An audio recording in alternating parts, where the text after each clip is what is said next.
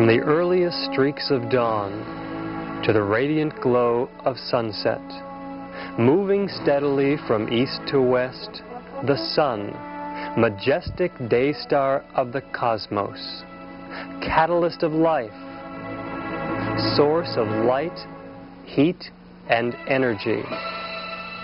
The high-tech challenge of solar energy is to generate electricity from sunlight.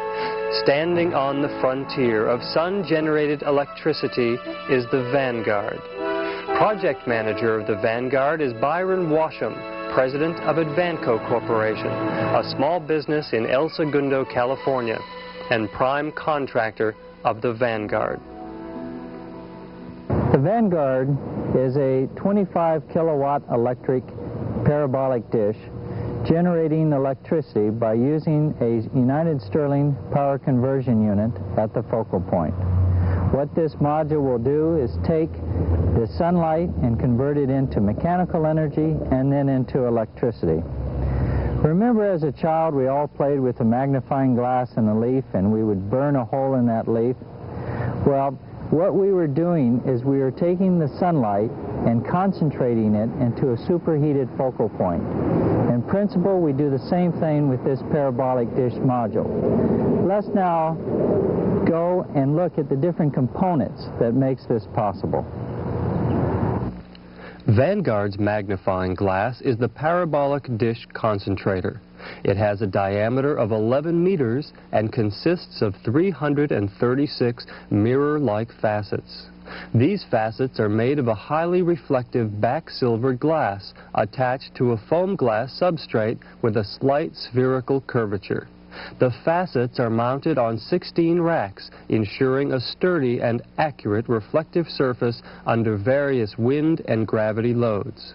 Each facet is optically aligned using a computer-generated target and a 1,200-foot collimated light source. When all 336 facets are aligned and the concentrator is on sun, the Vanguard concentrates the sun's radiant energy 2,700 times, creating temperatures at the focal point up to 6,000 degrees Fahrenheit, making the Vanguard one of the greatest concentrations of sunlight on the face of the Earth. A piece of quarter-inch stainless steel placed at the focal point would vaporize instantly.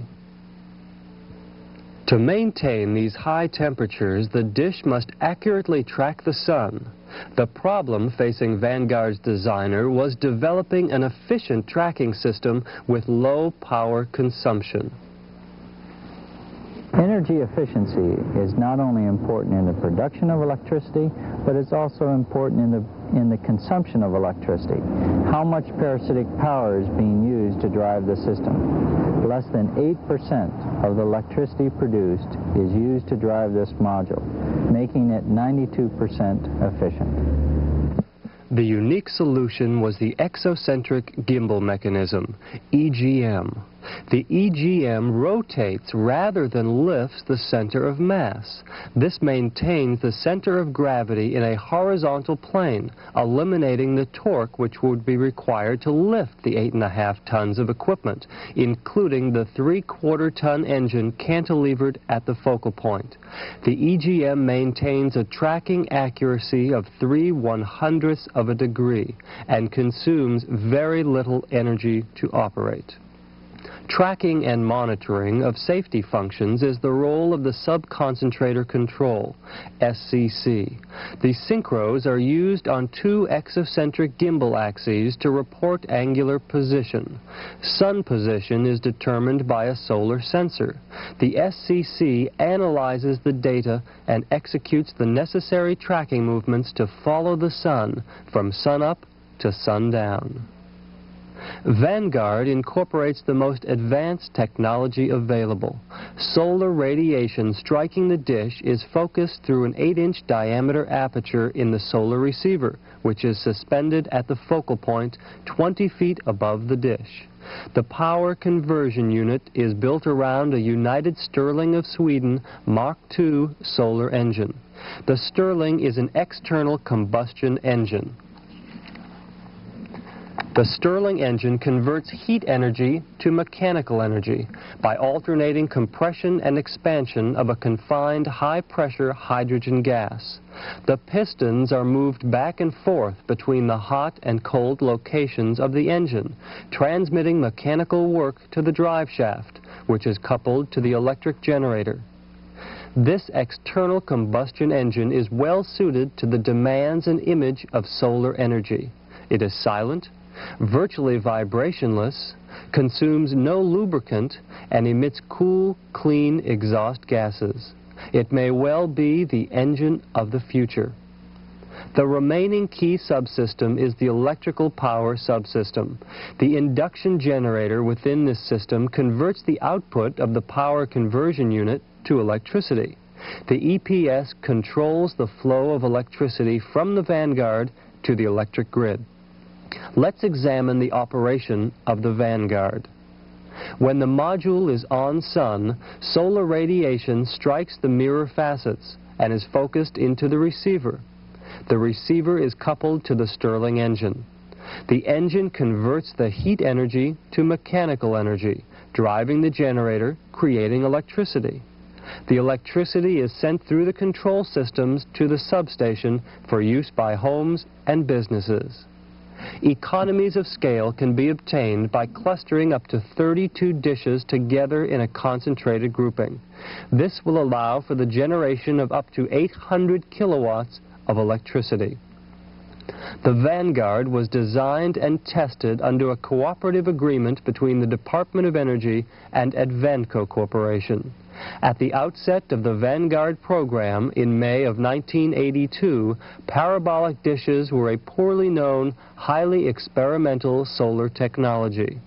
Vanguard has proved parabolic dish technology to be highly efficient and cost-effective. Vanguard's performance has exceeded expectations and, in fact, has set eight technical world records for efficiency of converting sunlight to electricity. The Utility Research Panel hailed Vanguard as a substantial and important step. Research and Development magazine recognized Vanguard as one of the 100 outstanding technical innovations of 1984. This past year of testing of the Vanguard module has indicated that each dish is capable of producing 56,000 kilowatt hours of electricity. This is enough to power approximately 15 homes. It converts, on the average, 23% of all the sunlight that falls on this dish's area into electricity. The highly successful Vanguard module is the precursor to designs that will someday be operated by public utilities, industrial and commercial buildings, and large residential developments.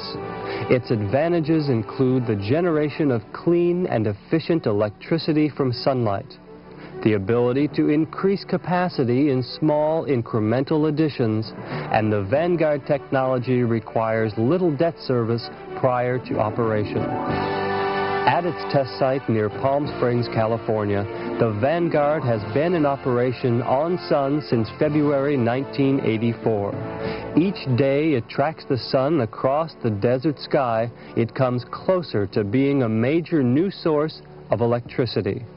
The engineers who designed Vanguard understand the perils of energy amnesia. They realize the magnitude of energy available to those who can harness the power of the sun, and they know the success of standing on the leading edge of technology with Vanguard.